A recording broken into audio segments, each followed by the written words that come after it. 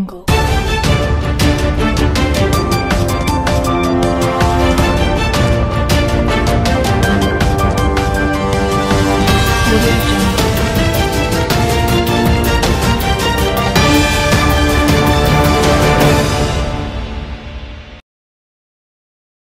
అవాం స్వాగతం నేడు రాష్ట్ర వ్యాప్తంగా ఆర్టీసీ కార్మికులు బంద్ మేరకు బైన్సా డిపోలో దాదాపు ఒక వంద ఇరవై పైగా బస్సులు డిపోకే పరిమితమయ్యాయి దీంతో బంద్లో భాగంగా ఆర్టీసీ కార్మికులకు మద్దతుగా ప్రజా సంఘాలు విద్యార్థి సంఘాలు వామపక్ష సంఘాలు పలువురు ఆర్టీసీ బంద్కు మద్దతు తెలిపారు. ఈ సందర్భంగా ప్రైవేట్ దుకాణాలు మూతబడ్డాయి అనంతరం ఆర్టీసీ డిపో ముందర ఆర్టీసీ కార్మికులు నిరసన తెలుపుతూ ఆందోళన చేస్తూ నిరసనను ప్రభుత్వానికి తెలుపుతున్నారు. అనంతరం పట్టణంలో ప్రజా సంఘ ఆధ్వర్యంలో భారీ ద్విచక్ర వాహనాల ర్యాలీ నిర్వహించారు. ఈ ర్యాలీకి పోలీసులు గట్టి భద్రత ఏర్పాటు చేసి ర్యాలీ బస్టాండ్కు చేరుకోగానే పలువురు నాయకులను పోలీసులు అరెస్టు చేసి పోలీస్ స్టేషన్కు తరలించారు.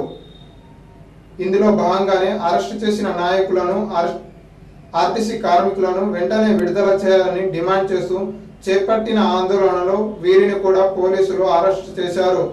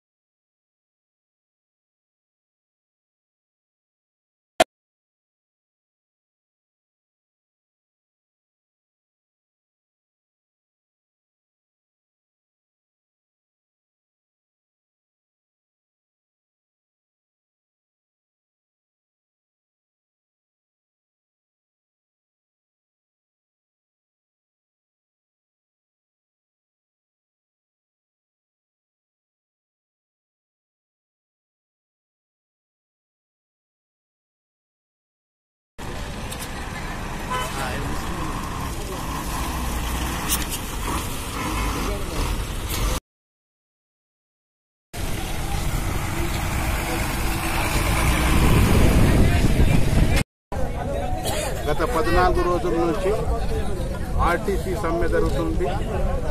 ఆర్టీసీ మీద ప్రభుత్వం అన్యాయం చేస్తుంది. వాళ్ళ డిమాండ్స్ పూర్తిగా చేయక ఈ రోజు వరకు సీఎం గారు ఎటువంటి పలకరం లేదు. హైకోర్టులో ఆశించిన తర్వాత కూడా ఆయన హైకోర్టుని కూడా ధిక్కారించి వంటి పోరాటంలో పోతున్నాడు. అయ్యా తెలంగాణ వచ్చింది మాకు. ఈ కార్మిక సంఘాలు మన ఉద్యోగస్తులు ఉస్మానియా యూనివర్సిటీ విద్యార్థులు అందరూ నలభై ఒక్క రోజు సమ్మె చేస్తేనే మనకు తెలంగాణ వచ్చింది. అయినా నువ్వు తెలంగాణకు న్యాయం చేస్తా ముక్క- మొట్ట- మొట్టమొదటిసారి దళితుడిని ముఖ్యమంత్రి చేస్తా ఆర్టీసీని ప్రభుత్వంలో విలీనం చేస్తా అనే మాట ఈరోజు తప్పి ఆర్టీసీలో ప్రభుత్వంలో విలీనం చేయకుండా వాళ్ళ మీద అన్యాయం చేస్తున్నాం. అయ్యా ఈ దౌర్గాభిగం పనికిరాదు. ఈ వంటి పోరాటం హిట్లర్ ఛాయ్ ఎక్కడ కూడా పనికిరాదు. హిట్లర్ అసంటోడు కూడా బిచ్చం అడిగిండు. నీ కూడా వచ్చే కాలంలో బిచ్చం అడిగే పరిస్థితి వస్తుంది. ఎందుకంటే తెలంగాణ వచ్చింది బంగారు తెలంగాణ అవుతుంది మా వాటా మాకు వస్తుంది ఇంటికి ఒక ఉద్యోగం వస్తుంది ఆర్టీసీలకు ఉస్మానియా యూనివర్సిటీ విద్యార్థులకు అందరికీ న్యాయం జరుగుతుందని అనుకున్నాం. కానీ ఇంతవరకు ఎటువంటి న్యాయం జరగక నువ్వు ఒంటారి పోరాటాలు పోతున్నావు. నీ కొడుకు నీ బిడ్డ నీ అల్లుడు దానికోసమే నువ్వు చేస్తున్నావు. మొన్ననే ఆర్టీసీ పెట్రోల్ పంపు నలభై ఎనిమిది పెట్రోల్ పంపును నీ బంధువులకు రామేశ్వరకు అమ్మేశావు. ఈ ఎటువంటి అన్ని ప్రైవేట్ చేసి మా ఉద్యోగులకు రోడ్డు మీద చేస్తావా? చెప్పు అయ్యాను. ఇప్పుడన్నా నీకు బుద్ధి రాని కార్మికులు ఏదైతే పద్నాలుగు రోజుల నుంచి సమ్మె చేస్తున్నారో వాళ్ళకు ఖచ్చితంగా గవర్నమెంట్లో విలీనం చేయాలి. వాళ్ళ పీఆర్సీ వెంటనే విడుదల చేయాలని కోరుకుంటున్నాను. మా తెలంగాణ వ్యాప్తంగా ఈరోజు అఖిల పక్ష అందరు కలిసి సమ్మె నిర్వహిస్తున్నాం మొత్తం తెలంగాణ రాష్ట్రంలో ఎక్కడ కూడా ఒక్క బస్సు కూడా కదులు లేదు. ఎంతో మంది ఈరోజు రోడ్డు మీద వచ్చిండ్రు.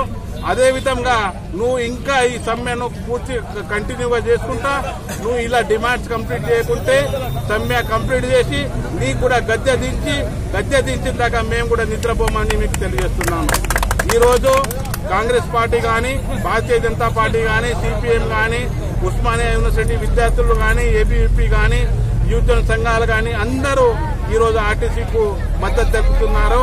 దానికోసం రాష్ట్ర వ్యాప్తంగా ఆర్టీసీ కార్మికుల సమ్మె సందర్భంగా బంద్ జయప్రదంగా జరుగుతోంది. ఒక్క బస్సు కూడా రోడ్డు మీదకి రాలేదు. సంపూర్ణంగా సమ్మె విజయవంతమైంది.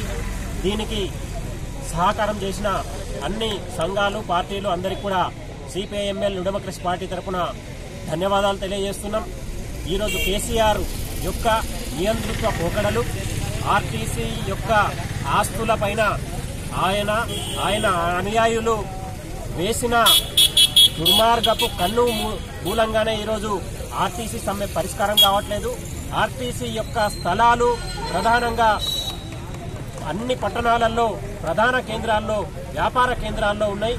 వాటన్నిటిని కూడా హస్తగతం చేసుకుంటూ యా- ఈ రవాణా రంగాన్ని మెగా కృష్ణారెడ్డికి ఇతరుల రామేశ్వరరావు లాంటి వాళ్ళకు అమ్మివేయాలనే కుట్రలో భాగంగానే ఈరోజు కార్మికుల సమస్యల్ని పరిష్కారం చేయకుండా ఈరోజు తాస్తారం చేస్తున్నది.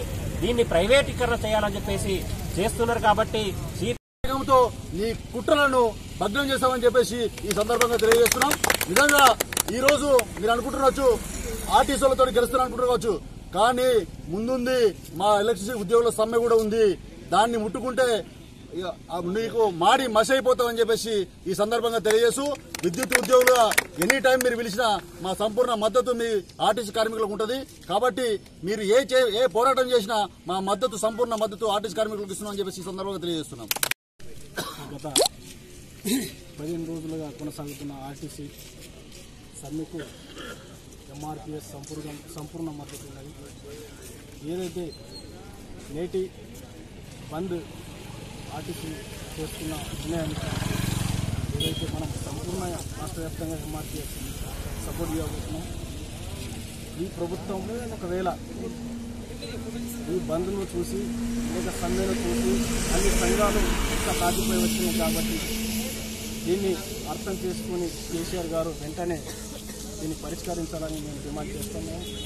ఇదంతా ఏం చేస్తున్నారంటే జీరోలో చేసేస్తున్నారు మొత్తము. బస్సులో ప్రయాణిస్తుంటే బస్సులు ఆ, టికెట్లు ఇవ్వలేకపోతున్నారంటే టోటల్గా ఏం చేస్తున్నారంటే వాళ్ళంతా డబ్బులు ఫ్రాడ్ చేస్తున్నారు. ఇది డిపో మేనేజర్లు కుమ్మక్కై డిపో మేనేజర్లు ప్రభుత్వంతో కుమ్మక్కైపోయి వీళ్ళకి ఏం చేస్తున్నారంటే కేసీఆర్కు జేబులు నింపడానికి చేస్తున్న ఉద్యమం వాళ్ళది. మాది మాత్రం గల్లబట్టే ఉద్యమం మాది. మేము ఎందుకంటే ఈ డిపో మేనేజర్ కూడా నిజంగా ఈ డిపో ఈ కనెక్షన్ ఇదంతా అయిన తర్వాత డిపో మేనేజర్ శ్వేతపత్రం ఇవ్వకుంటే ఖచ్చితంగా గల్లబట్టేస్తామని చెప్తున్నాం మేము. ఎందుకంటే ఈ ఈ డిపో ఈ రోజు ఆఫీసు డ్రైవర్లు కానీ కండక్టర్ గాను ఇలాంటి చేస్తున్నారు. వారు కష్టపడ్డప్పుడు పది లక్షలు తెలంగాణ రాష్ట్రం వ్యాప్తంగా తెలంగాణ ఆర్టీసీ కార్మికులు చేస్తున్న సమ్మెకు తెలంగాణలోని ప్రజా సంఘాలు పార్టీలు కుల సంఘాలు అలాగే తెలంగాణ నాలుగు కోట్ల ప్రజలందరూ కూడా సంపూర్ణ మద్దతుతోటి ఈరోజు బంద్ చాలా ప్రశాంతంగా సంపూర్ణంగా రాష్ట్ర వ్యాప్తంగా జరుగుతోంది. ఎక్కడ కూడా ఒక్క బస్సు కూడా రోడ్డు మీద వెళ్ళలేదు. దీని అర్థం కేసీఆర్ తెలుసుకోవాలి. నిన్ననే హైకోర్టులో కేసు సందర్భంగా కేసీఆర్ ప్రభుత్వానికి చాలా స్పష్టంగా హైకోర్టు నుంచి కూడా ఆదేశాలు ఇవ్వడం జరిగింది. తక్షణమే ఆర్టీసీ కార్మికుల సమ్మెకు సంబంధించి ఆర్టీసీ కార్మిక యూనియన్లతోటి చర్చలు జరపాలి. తక్షణమే గ్రామాలలో పారిశుద్ధ్య పనులకు ప్రాధాన్యత ఇవ్వడం జరుగుతుందని జిల్లా పంచాయతీరాజ్ శాఖ అధికారి శ్రీనివాస్ అన్నారు. మండల కేంద్రమైన ముదల్లోని గ్రామ పంచాయత్ కార్యాలయంలో నూతనంగా కొనుగోలు చేసిన హైడ్రాలిక్ వాహనాన్ని ఆయన ప్రారంభించారు.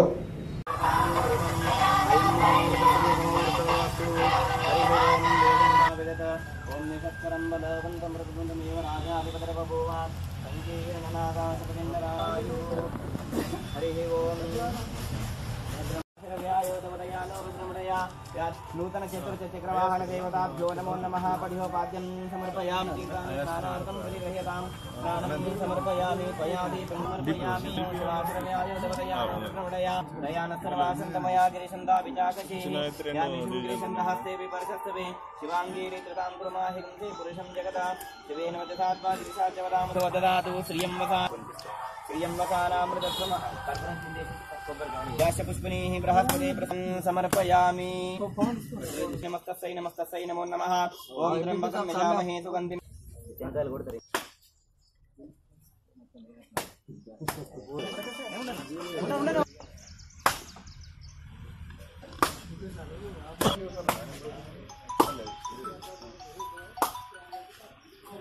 గ్రామ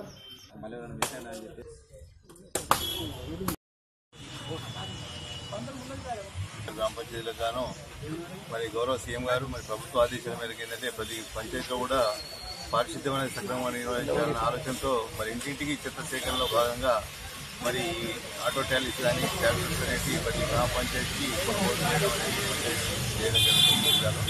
మరి అదేవిధంగా మరి గ్రామ పంచాయతీ యొక్క జనాభా దృష్టిలో ఉంచుకొని వాటి యొక్క మరి అవసరాలను దృష్టిలో ఉంచుకొని మరి గ్రామ పంచాయతీ సంబంధించి ట్రాక్టర్ కానీ ట్యాలీ కానీ అదేవిధంగా ట్రైసైకిల్స్ కానీ కొనుగోలు చేయడం జరుగుతుంది. సో ఈ విధంగా ప్రజల్లో ఒక చైతన్యం కలిగించి ప్రజలకు ఒక సౌకర్యాన్ని కల్పించి ఇంటింటికి చెత్త సేకరణ అనేది గతంలో మాదిరి కాకుండా ఇంటింటికి చెత్త సేకరణ చేసి దాన్ని అంతా కూడా మరి డంపింగ్ యార్డ్తో తరలించే భాగంగా మరి జిల్లాలో అన్ని గ్రామ పంచాయతీల్లో ఈ కార్యక్రమాన్ని కలెక్టర్ ఆదేశాల మేరకు నిర్వహించడం జరుగుతుంది. మరి ఈరోజు ఈ కార్యక్రమంలో మరి గ్రామ పంచాయతీ సభలో మరి చేసినటువంటి గౌరవ ఎంపీడీసీ ఎంపీ గారికి మరి ఎంపీడీ వారికి మరి గౌరవ వార్డు సభ్యులు సర్పంచ్ అందరి అందరికీ కూడా గ్రామ ప్రజలందరికీ కూడా మరి మీరంతా కూడా మరి ఈ అవకాశాన్ని సద్వినియోగం చేసుకొని ఏంటంటే చెత్త రోడ్ల మీద వేయకుండా మరి వెహికల్ ప్రతి రోజు కూడా మన ఇంటి ముంగిటి కానీ షాప్ ముందుకు రావడం జరుగుతుంది. సో దాన్ని మరి సద్వినియోగం చేసుకొని ఎవరు కూడా చెత్త బయట వేయకుండా రోడ్లపైన మూర్తికాలలో వేయకుండా మరి పారిశుద్ధ్యాన్ని మరి పబ్లిక్ సేఫ్టీ అనేది ముఖ్యం కాబట్టి గ్రామ పంచాయతీ ప్రధాని సో మరి ఎవరైతే మరి ఉల్లంఘన చేస్తారో చెత్త కానీ మరి ఏదైనా అన్నెసరి వస్తువులు ఏదైనా రోడ్డు దానికి చట్టంలో మరి ఐదు వందల రూపాయల వరకు జరిమానా వేసే అవకాశం ఉంది కాబట్టి మరి దీన్ని మరి పరిగణలోకి తీసుకొని అందరూ కూడా గ్రామ పంచాయతీ సహకరించి ఈ పారిశుద్ధ్యాన్ని మరి మెరుగుపరచాలని చెప్పి బాసర శ్రీ జ్ఞానసరస్వతి దేవి అమ్మవారి దేవస్థానంలో ఈరోజు అమ్మవారి ఆలయంలో భక్తులు సమర్పించిన ఒడి బియ్యం హుండీ